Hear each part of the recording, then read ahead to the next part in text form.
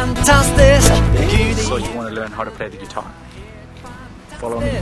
Gud i himmelen er helt fantastisk. Hei, folkens! I dag skal vi ikke lære oss å spille fløyte, men vi skal lære oss å spille gitar. Det stemmer. Heldig du er. Og vet du hva?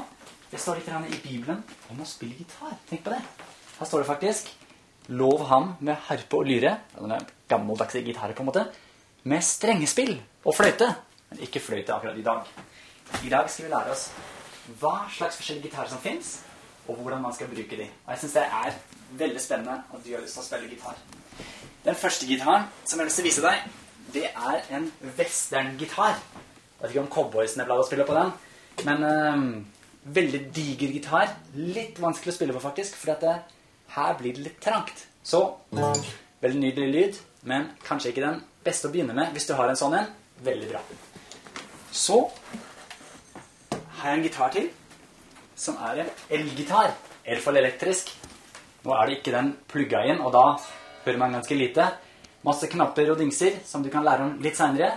Fordi den som vi skal bruke i dag, er ikke el- eller elektrisk gitar, men det er en kassegitar. Ligner ikke akkurat veldig på en kasse, men hver gitar har jo en kropp. En såkalt lydkropp. På elgitaren er den litt liten, for der fungerer det elektrisk.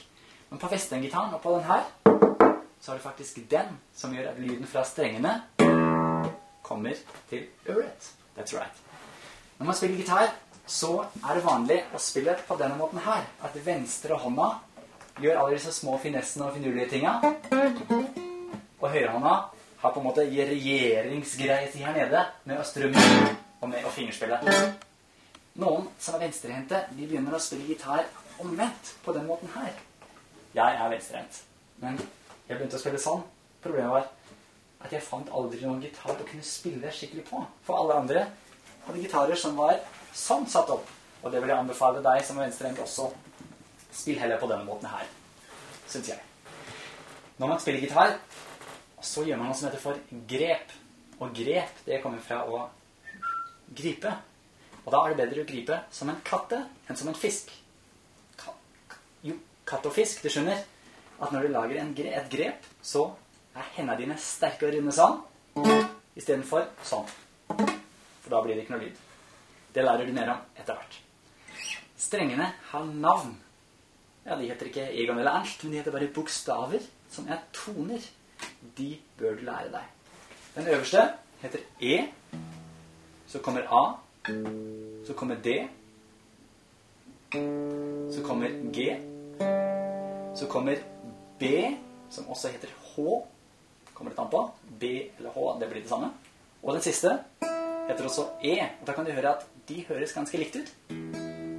Bare at den ene er mye lysere. Så den øverste har egentlig mørkest. Den nederste er lysest. Men når jeg sier den øverste, så tenker jeg altså ikke i forhold til tonene, som er lyset, men jeg tenker den som er faktisk høyest oppe. Og det er altså E.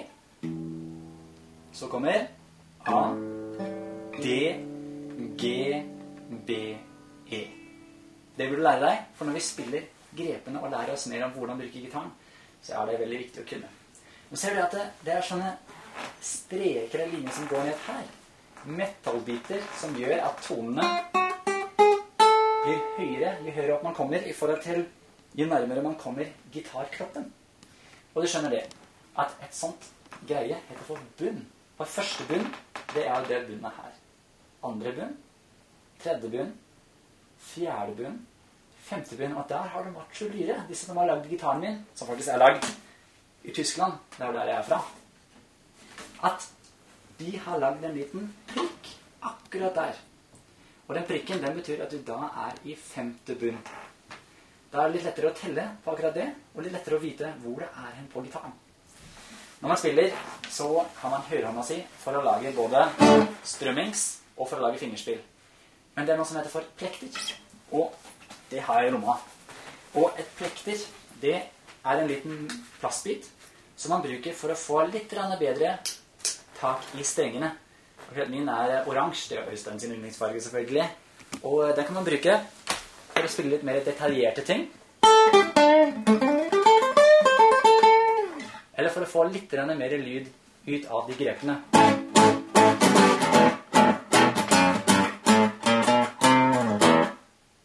Du kan få lov til å kjøpe deg en sånn, men det er ikke så veldig farlig, fordi akkurat på kurset her så kommer du til å spille mest uten plekter. Da har du lært om gitarene du har lært om grepene, og du har lært om gitarstrengnavna. Og de navna på strengene, de bør du lære deg. Vi tar dem en gang til. Første heter E, stemmer.